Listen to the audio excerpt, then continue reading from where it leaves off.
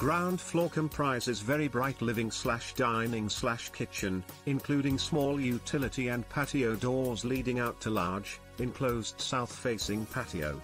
First floor comprises one large double bed plus one large double bed ensuite and main bathroom. Second floor comprises one very large ensuite double bed, hot press and office area. House situated in center of Oranmore in beautifully landscaped, quiet, private estate with ample private parking and lovely walkways. All the amenities of Oranmore, supermarkets, schools, cafes, shops, takeaways, banks etc., within a few minutes walk. Available to rent immediately. One year lease. No pets, no smoking.